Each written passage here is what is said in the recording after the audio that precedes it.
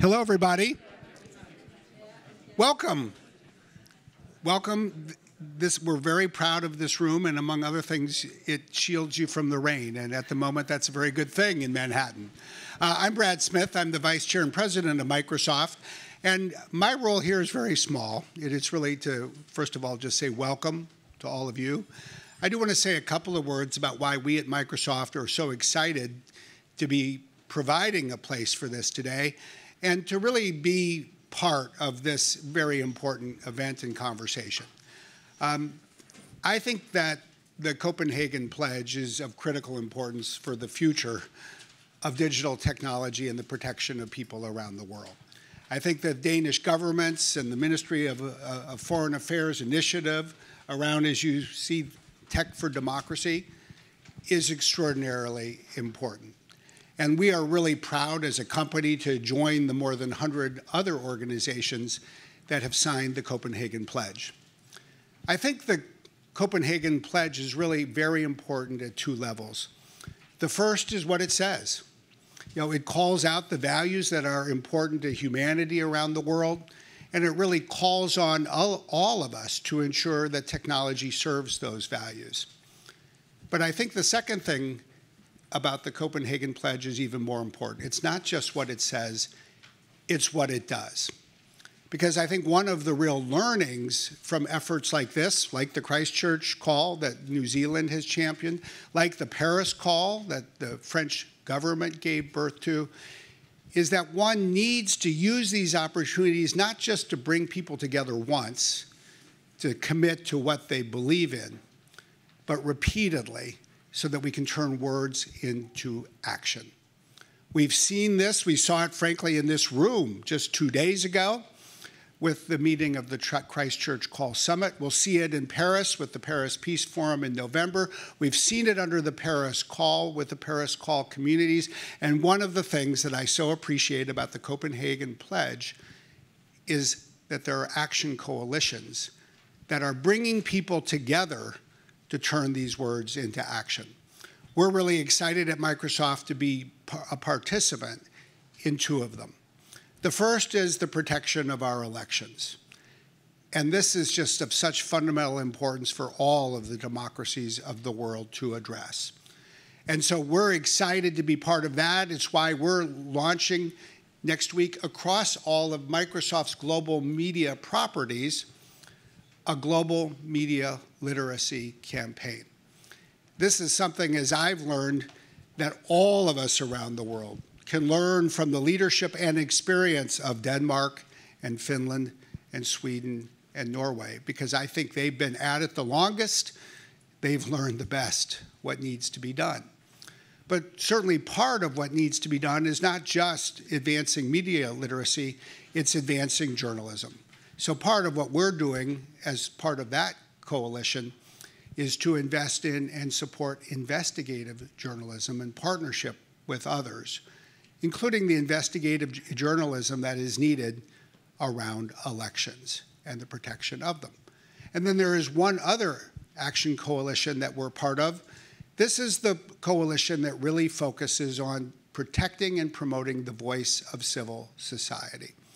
And if there's one thing that I think UNGA perhaps better demonstrates in 2022 than maybe any other year in the past, is that the fundamental formula for progress in the world on anything we care about is the ability to bring together civil society, government, and the private sector. It is something that people like to debate. I go to some countries or I just stay home in the United States, and I find that oftentimes what people want to argue about is whether government should do less so business can do more, or government should do more so that business does less. And yet, what we really fail to appreciate is how we do our best work when we come together with role clarity, appreciating each other's strengths, and then, frankly, recognizing that it's all under the leadership and the regulation of government itself. But civil society, the NGOs of the world, they are the magic that makes the difference. And some of you know that because I know that some of you work for some of the great NGOs. That's why we're excited to be part of the Unmute Civil Society initiative that the United Nations is sponsoring.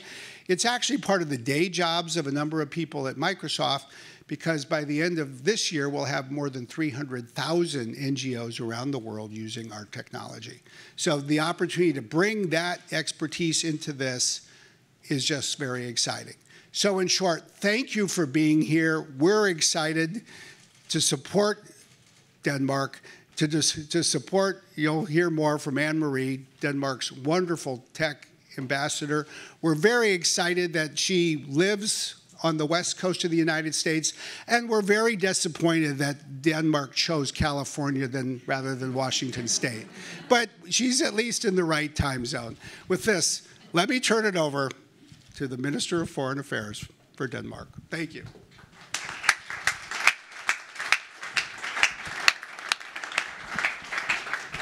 Oops, sorry, sorry. Well, thank you so much, and uh, good afternoon to, to all of you. Um, I've been really looking forward to, to coming here uh, this afternoon. And thank you so much to, to Brad Smith um, for your warm welcome and also uh, for sharing this wonderful uh, venue with us. And it is my great pleasure to open this meeting. Denmark, um, as been said, is, a, is proud to be leading force in the global effort to make human rights and democratic values enjoy the same level of attention and respect online as well as offline. Maybe I'll stand over here. It's better. and um, I want to to thank um, Microsoft and also Access Now for co-sponsoring this event with, with Denmark and our cooperation across government, civil society, and private sector, exactly what Brad just alluded to, uh, is a central part of why we are here today. Digital technologies have a global impact in the world today, the future of technology, therefore, depends on all sectors of global um, society to come uh, coming together. Here in New York during UNGA, uh, it's natural to reflect on, on how far the international community has come in protecting and promoting human rights, both in the physical but also in the digital world. A digital age, uh, age based on human rights and democratic values requires all of us to take responsibility and to participate in global cooperation. This is exactly the reason why Denmark created uh, the Tech for Democracy initiative last year. And I'm proud on how far we have come, and I'm very pleased that we today can look what lies ahead of us.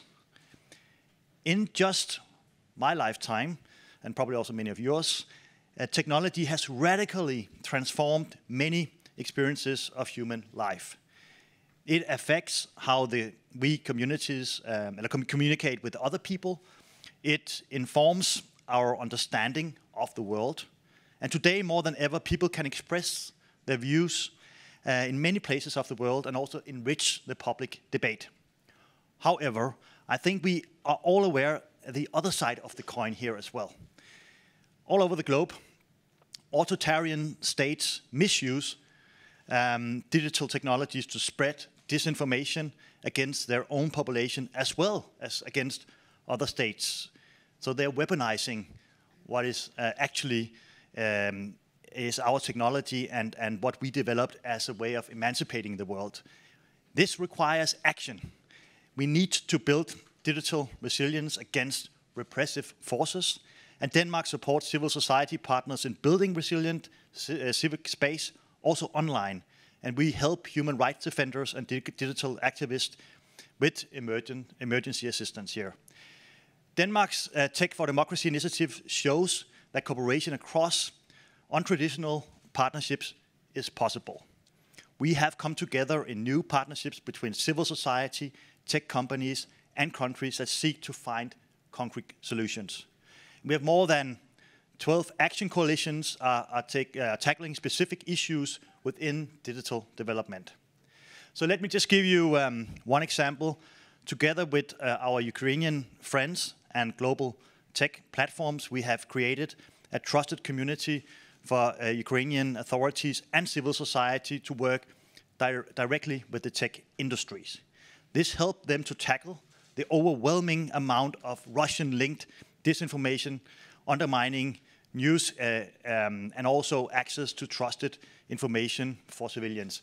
And I was just at the Security Council debate just before coming here, where the, the Russian uh, Minister of uh, Foreign Affairs was speaking. And if you listen to what he said, you understand the challenge of dis uh, misinformation. So it is important for Denmark that tech for democracy is, is more than just a slogan. The war in Ukraine is a fundamental struggle for freedom, self-determination, and democracy. We must ensure that our shared technological future will build on exactly those values.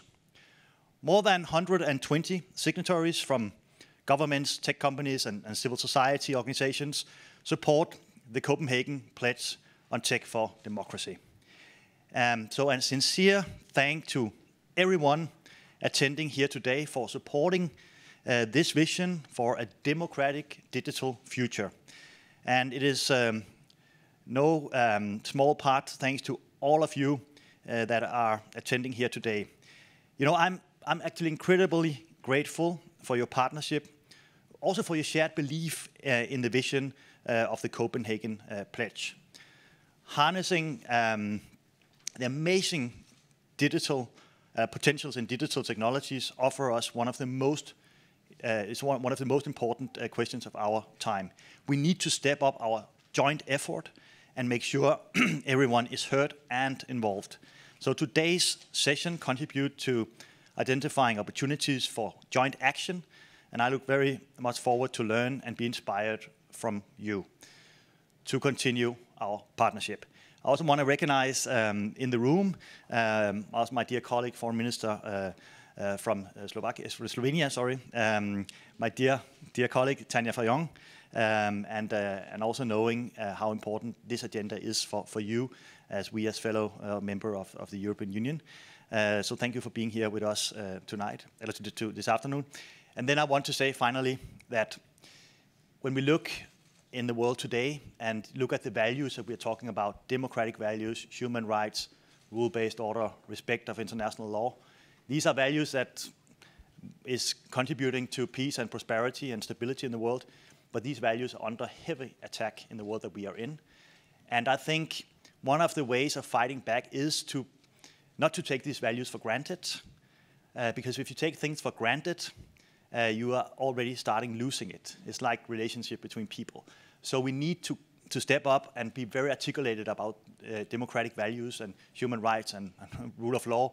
If we are not, then we will go into a much more dangerous world. So thank you so much, and um, thank you to Microsoft for this. It's been, it's been a great pleasure to be with you today. Thanks.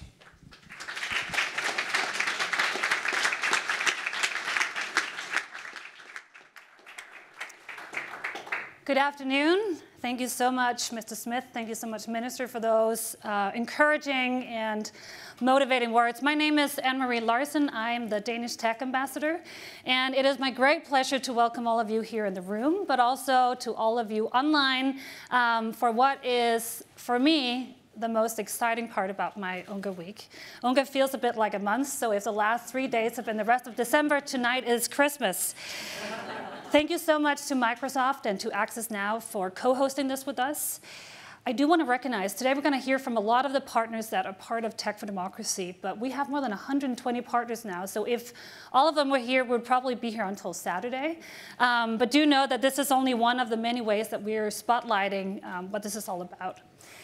Today, the Tech for Democracy logo is in the Danish colors, and this is the first time I've seen that. That's really kind of you, Microsoft. Um, but this is not about Denmark. This is about the collective commitment that we as countries, companies, civil society actors, UN agencies have made to safeguarding democracy not only today, but so much more in the digital future that lies ahead of us. In the conversations I've been in throughout this week, everyone say, uh, less talk, more action. To me, that is tech for democracy.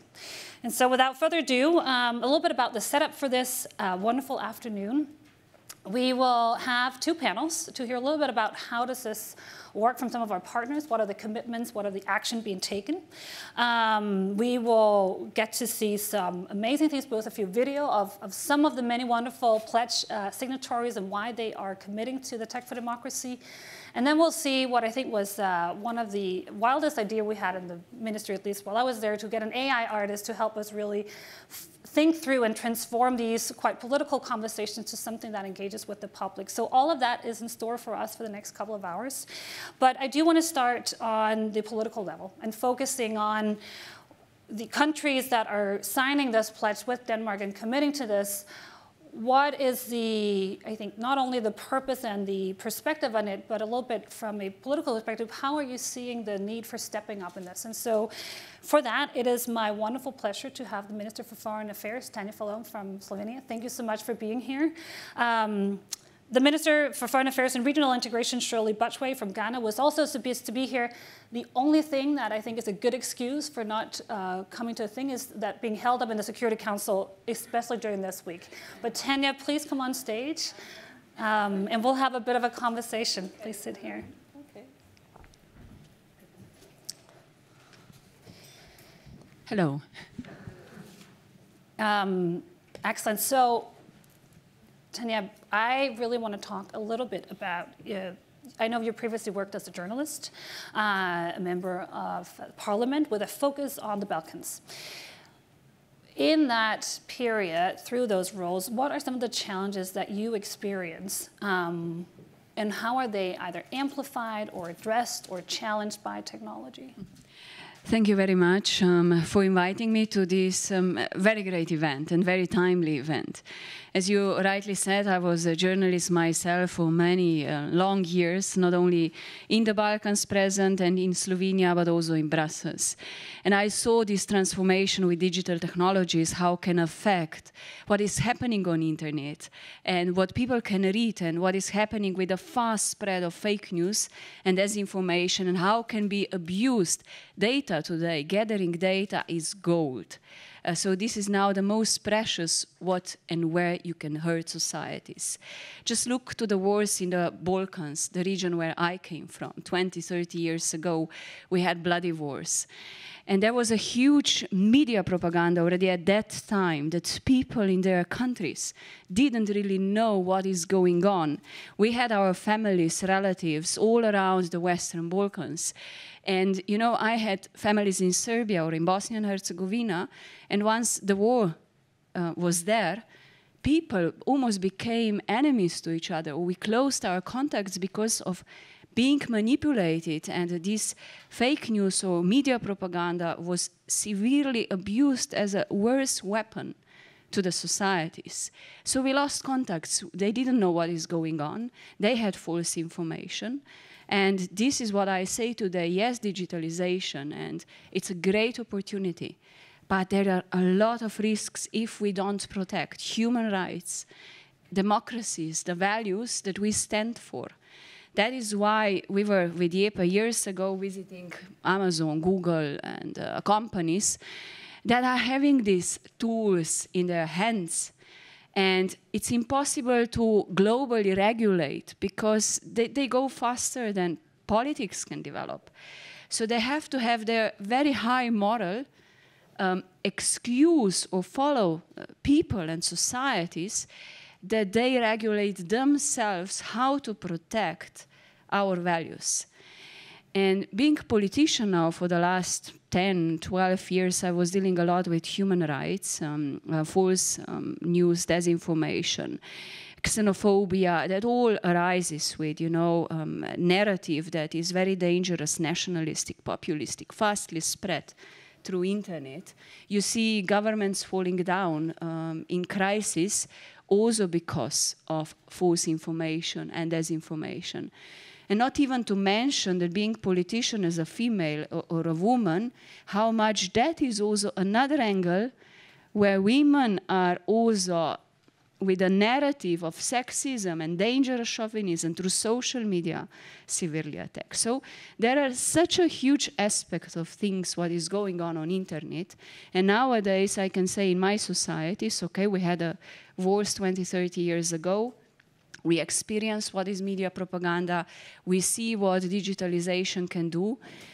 But when once the mainstream media or the politicians start using same tools to manipulate or abuse, this is where it goes wrong. This is when we lose elections, this is where we lose democracies, this is where we lose human rights. And this is what is happening. Now look to the war in Ukraine and Russian propaganda. They are very effectively, very effectively in Africa or in third world using propaganda. There is no war. But the EU, because of the sanctions, is really affecting the poverty in Africa.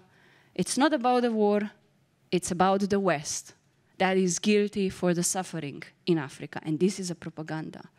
And this is where we have to fight for. So I could talk lengthily on that, and I'm very worried because I see just myself opening uh, my Twitter account in the morning. I feel like a war is ongoing. You know, it's like a, it's a narrative, maybe 3% or 4% of people are reading.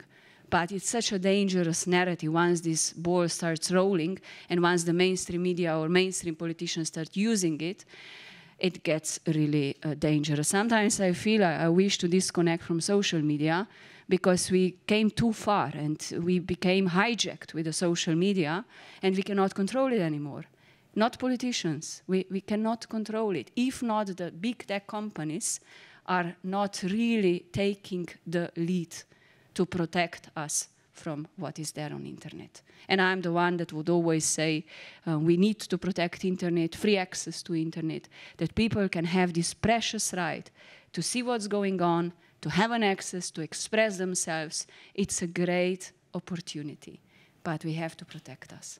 Thank you, Minister. Um, I heard this, this, line the other day that for lies, sky is the limit, whereas um, for truth, they're really bound by reality. And that challenge at times, I think those of us who want a, a more sort of truthful approach to the information we're seeing there, you are, I think, pointing to some of the really great challenges of our time for democracy. Um, we are so delighted that Slovenia has signed the pledge, just like Ghana and a number of really other important countries in this space looking a little bit forward, what are you, you know, tell us why you joined the Tech for Democracy and maybe moreover um, about, you know, one thing is holding the companies to accountable. What more can we do to advance this agenda and I think feel as if we as, you know, democracies are actually the ones on top of setting the rules of the road?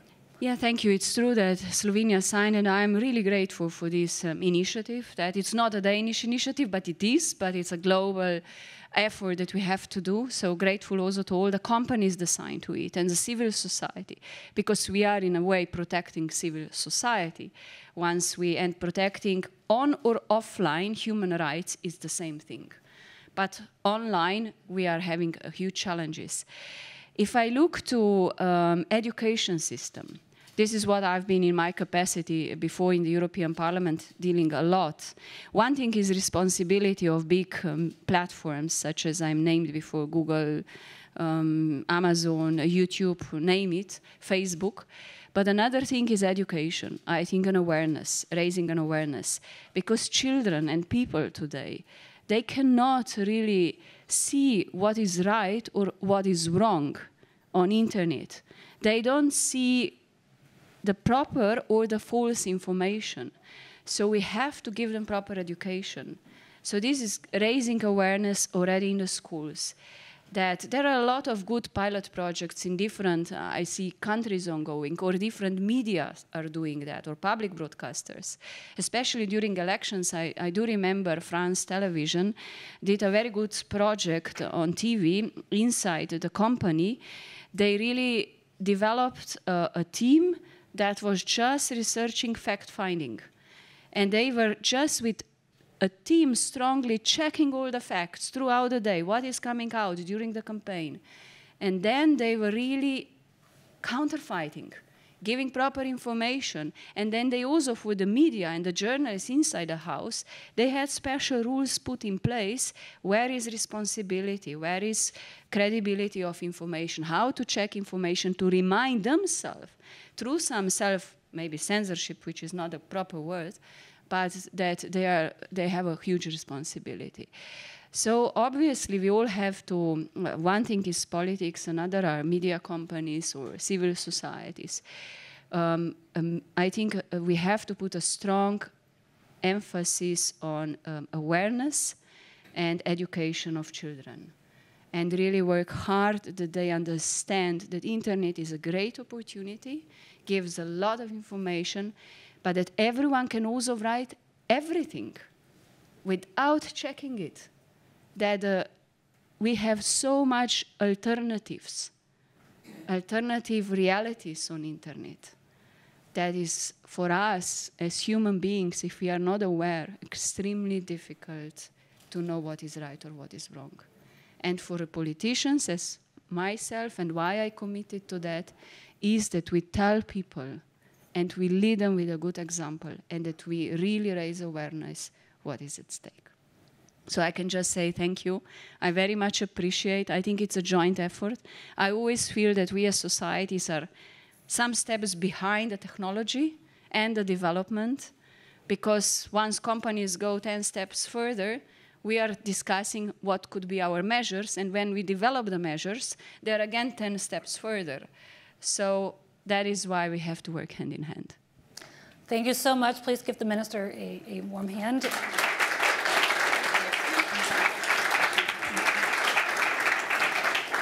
Um, Again, thank you, Slovenia and Ghana. We'll be also joined today by a few of the other um, wonderful uh, countries that have been working with us in this. I'm now going to turn to the first panel of this afternoon. Um, the theme is on the responsible development and use of technology. And I think it's really important the development and the use of technology. How do we make it responsible? Because if it doesn't happen per default, it is up to us. And I think that's why the Tech for Democracy and the Action Coalitions is exactly focused on this. How do we do it not per default, but by design. We need to ask questions about what is the role of tech should play in the individual lives, societal development, our markets, our opportunities, and balance innovation, security, democratic empowerment. And to uh, come up with the answers of how to balance these three, I have uh, three distinguished um, colleagues and friends, I want to say, like all of you in here of Tech for Democracy. Um, please welcome Paul Ash, uh, the New Zealand's Prime Minister's Special Representative for Cyber and Digital Affairs, please come up. We also have, and give him a hand. Um, why don't you sit here? Flavia Alves, uh, who is the head of international institutions and relations at Meta. And finally, we have Peter Micek, who is the general counsel at Access Now. Please take. Excellent. So, so good to see you. Um, Paul, I'm going to start with you, if that's okay. So, digital transformation has changed daily lives in New Zealand just like everywhere else over the past 20, 30 years we all agree here some is for better, some is maybe for worse, and some of it we don't really know and probably still have to, to play out. Um, and we saw, not least with the Christchurch, how, you know, in the terror of the Christchurch, what happened, really, I think, a negative side of it. Can you speak to how the government of New Zealand is thinking about the challenges of balancing these positive and negative, you know, perspectives and taking action and leading in, in that balancing act? Sure. Um, thank you, Anne Marie. And, and, first of all, at the outset, a huge thank you to um, the Government of Denmark, to Microsoft, and to Access Now uh, for jointly sponsoring this event. New Zealand is um, strongly committed to the work of the Tech for Democracy um, coalition and platform, and it's a real pleasure to be here today. In terms of the way um, New Zealand has thought about digital, I might just talk a little bit about the transformation we're seeing in New Zealand and in New Zealand society. Uh, I first connected to the internet in 1995, I think, in Beijing, of all places, when I was living there.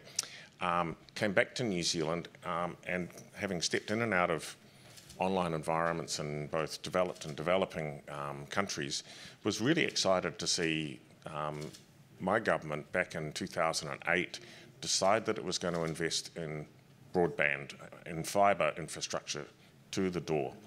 Uh, and it was a slightly foresighted um, uh, and um, um, smart investment in a sense when we look back on it. Today, we're just on the cusp of 97% of New Zealand households having a fibre connection at the door of their house.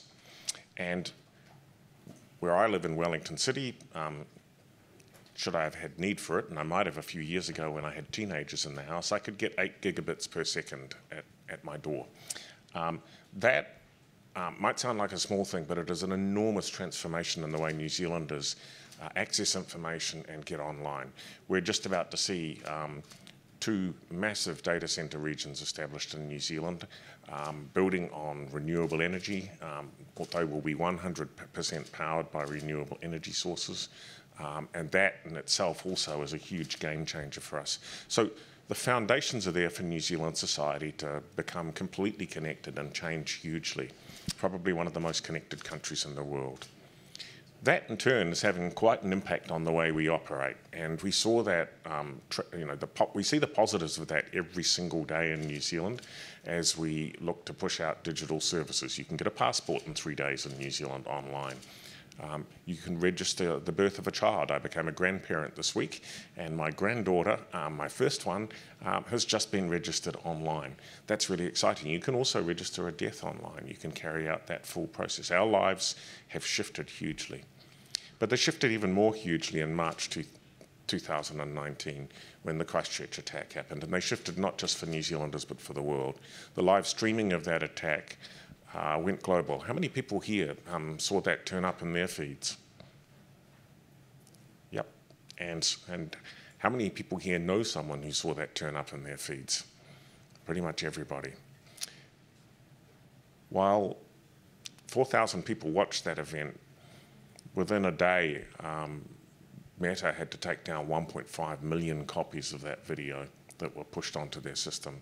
And we're really grateful to them for the work they did. They scrambled uh, they took down four and a half million copies of that video in the first three months.